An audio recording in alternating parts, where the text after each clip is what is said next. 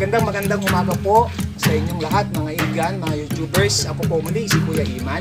So nandito po ako sa isa pong kaibigan sa aming lugar na kung saan siya ay gumagawa ng mga pasong ganito.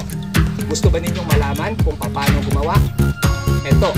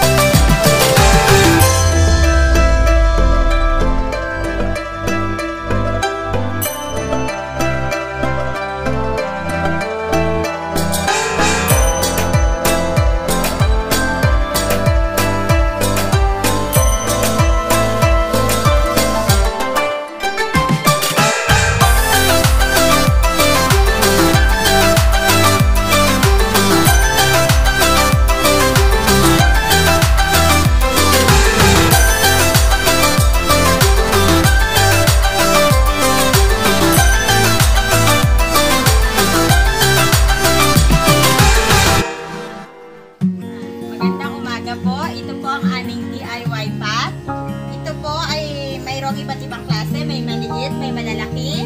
Ang aking hawak ngayon ay maliit lamang. Ang presyo po nito ay 50 pesos. Meron din po kaming malalaking version nito. Ito po ay 100 pesos. At meron din po kami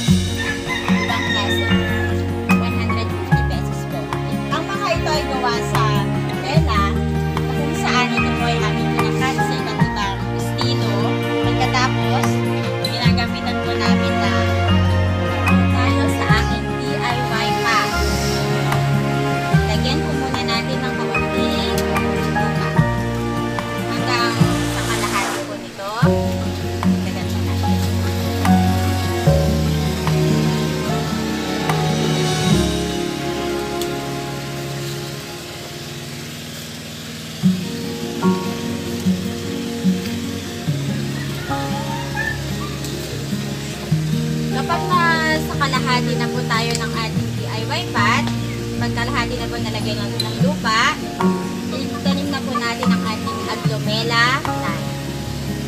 Hawakan po natin ang halaman habang unti-unti natin nilalagyan ng lupa.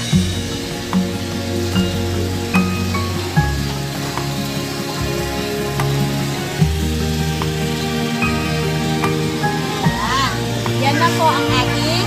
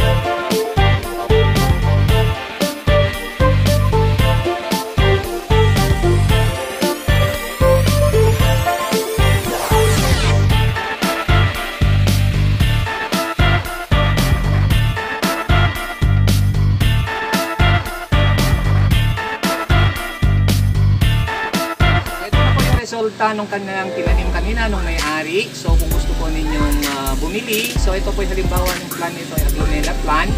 So meron marami po siyang stock dito, pwede po kayong mag-order.